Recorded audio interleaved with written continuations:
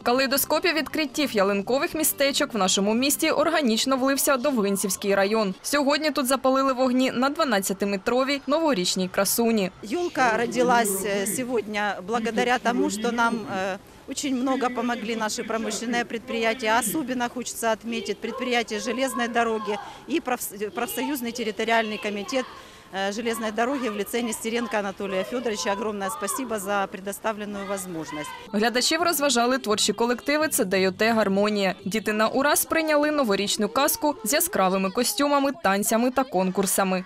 Сегодня на открытие мы подготовили такой сценарий выборы Снегурочки. Основная цель была создать настроение хорошее, чтобы деткам понравилось, чтобы они повеселили, повеселились и почувствовали праздничное настроение. Публика очень порадовала, потому что детки все по-настоящему счастливые, веселые, улыбаются, танцуют, очень активные. Это было по-настоящему здорово.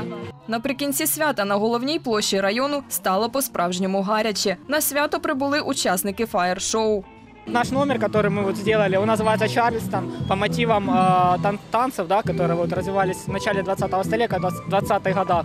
Вот именно на основе этого под музыку соответствующую подобрали вот и сделали постановку с огнем и пиротехникой. Діти від побаченого отримали велике задоволення.